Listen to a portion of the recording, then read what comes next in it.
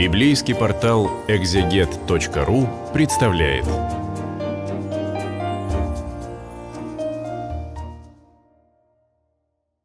Сегодня на библейском портале «Экзегет» мы будем изучать 18 главу книги Второзакония.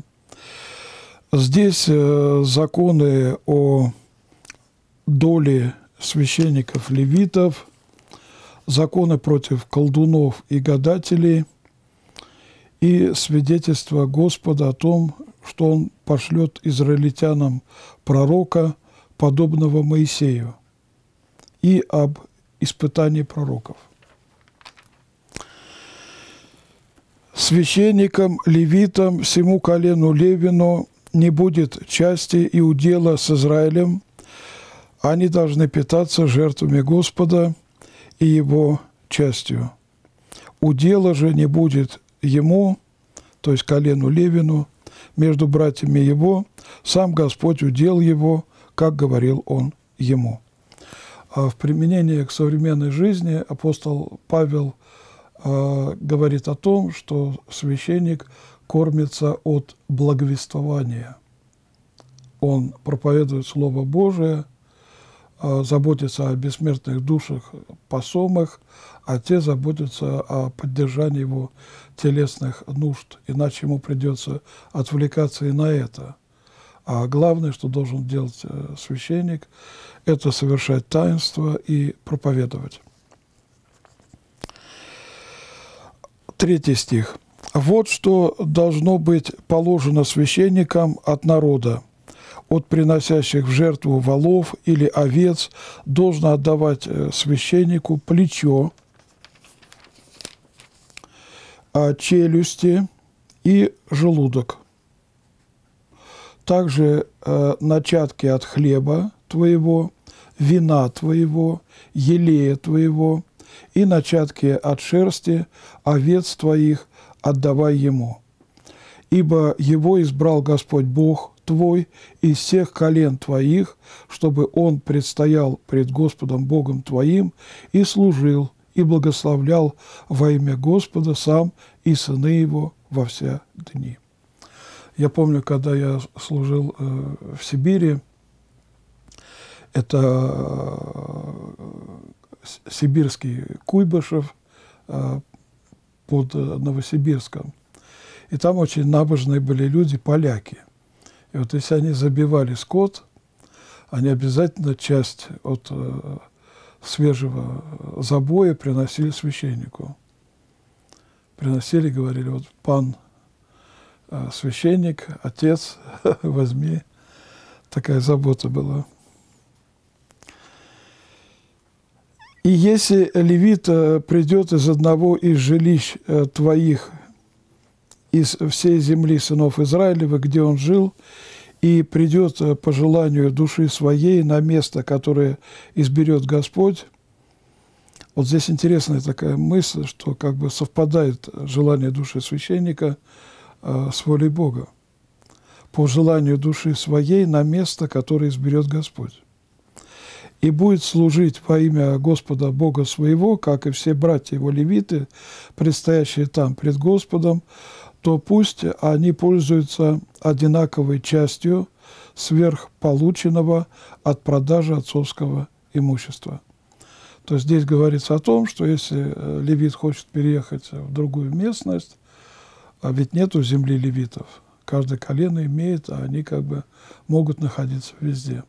Они продают э, свое жилище, а переезжают в другое место, и они пользуются теми же правами – которые имели по закону Моисею в том месте, откуда переехали. Далее идут э, законы против э, колдунов и гадателей.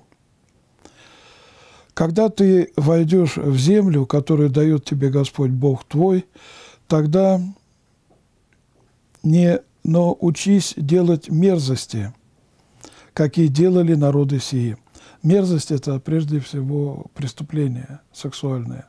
Но иногда сексуальные преступления а, совершали на ритуальной а, почве, а, такие оргии ритуальные были, смешанные с человеческими жертвоприношениями, и колдуны принимали в этом участие, а гадатели, они решали, кто станет жертвой, какой ребенок. «Не должен находиться у тебя проводящий сына своего или дочь свою через огонь, проводящий сына своего или дочь свою через огонь, это был такой э, культ, э, посвященный э, чаще Молоху.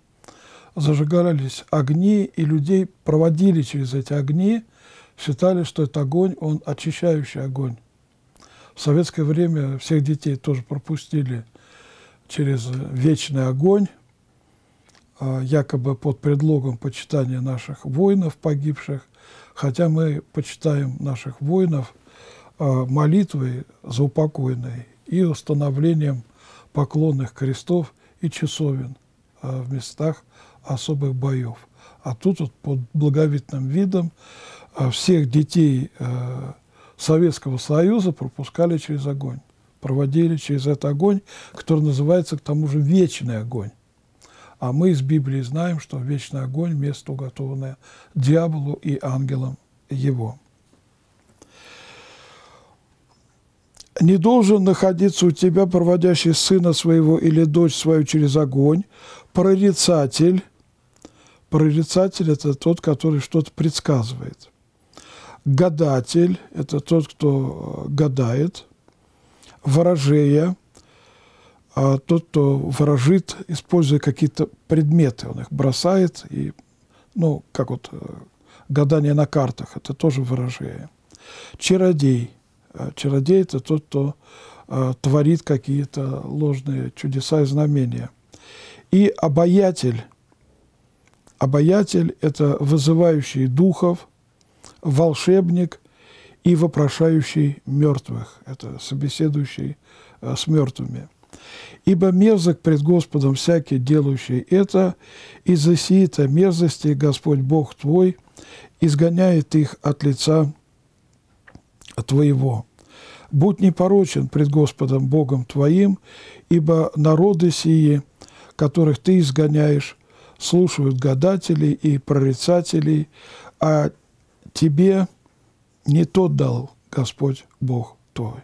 То есть у нас нет необходимости обращаться к гадателям и прорицателям, потому что мы имеем вернейшее пророческое слово, это Библия, и мы э, руководствуемся этим э, текстом. Далее говорится о пророке, которого пошлет Господь. Если мы посмотрим книгу «Деяний святых апостолов», то апостол Петр ссылается на этот текст, э, имея в виду Христа. И э, в книге «Деяний» проповедь архидиакона Стефана, он тоже ссылается на этот э, текст, имея в виду Христа под тем пророком, который как бы заменит Моисея. Заменит Моисея. Иисус Христос в своем человечестве э, совершал три служения. Он был истинный Бог и истинный человек. Так вот, в своем человечестве он совершал служение пророка, на этом настаивает догматическое православное богословие, первосвященника – и царя. И царя. Поэтому ничего удивительного в этом нету. Пророка из среды тебя, из братьев твоих, как меня, воздвигнет тебе Господь Бог твой. Его слушайте, так как ты просил у Господа Бога твоего при Хариве в день собрания, говоря, да не услышу впредь гласа Господа Бога моего, и огня сего великого, да не увижу более, дабы мне не умереть. И сказал мне Господь, хорошо то, что они говорили тебе. Я воздвигну им пророка из среды братьев их, такого, как ты, и э, вложу слова мои в уста его, и он будет э, говорить им все, что я э, повелю ему. Действительно, Христос э, все говорил, э, что принимал от Отца. Он говорил, я пришел во имя Отца. Я говорю вам то, что услышал э, у Отца. Но почему он сравнивается с Моисеем? Потому что Христос ведь Бога-человек. Потому что Моисей – законодатель. И Христос, который дает нам Новый Завет, он тоже законодатель. И в некотором случае он меняет закон Моисея. Помните в Нагорной проповеди? Вы слышали, что сказано древним, а я говорю вам. И это повторяется несколько раз.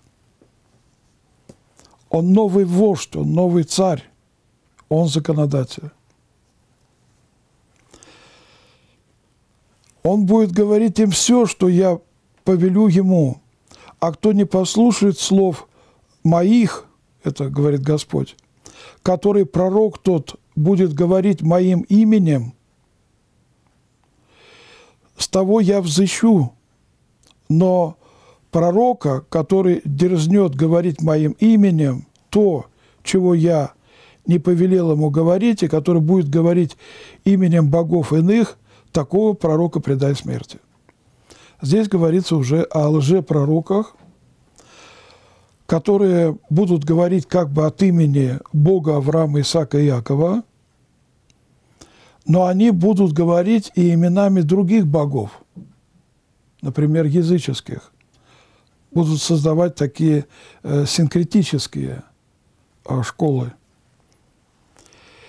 И если скажешь в сердце твоем – как мы узнаем слово, которое не Господь говорил? То есть как мы сможем понять, истинный пророк или ложный? И дается ответ. Если пророк скажет именем Господа, но слово то не сбудется и не исполнится, то не Господь говорил сие слово, но говорил сие пророк по дерзости своей, не бойся его. Мы знаем, всегда были э, лжепророки, и э, лжехристы были, и лжеапостолы. Это такая реальность. Причем в Библии говорится э, в некоторых случаях, если лжепророк скажет, и то, что он скажет, исполнится, но потом он скажет, пойдем служить другим богам, его слушаться нельзя. То есть проверяли по тому, исполнится или нет. И вторая позиция, да, он сказал и исполнилось, но призвал к чуждому служению, а вода зара, то есть другим богам языческим. Итак, сегодня мы оканчиваем изучение 18 э, главы книги Второзакония. Если будем э, живы, в следующий раз будем читать 19 главу. Подписывайтесь на библейский портал «Экзегет», чтобы вовремя получать информацию о наших беседах.